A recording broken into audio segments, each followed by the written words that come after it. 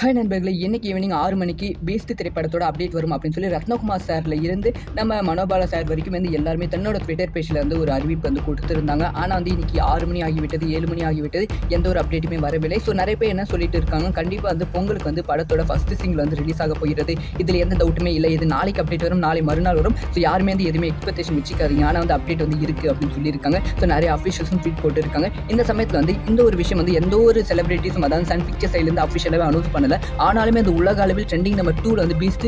first single அப்படிங்கிற hashtag இருக்குது இந்திய அளவில் வந்து பீஸ்ட் திரைப்படத்தோட ஃபர்ஸ்ட் சிங்கிள் அப்படிங்கிற ஹேஷ்டாக் வந்து நம்பர் ஒன் இடத்துல இருக்கிறது ஸோ இந்த ஒரு விஷயம் வந்து தளபதி அவர்களோட தனிப்பட்ட மாசை மட்டுமே வந்து குறிக்கிறது ஸோ இந்த ஒரு விஷயம் உங்களுக்கு எவ்வளோ ஹாப்பியாக இருக்குது யாரெல்லாம் பீஸ்ட்டுக்கு வெயிட் பண்ணுறீங்க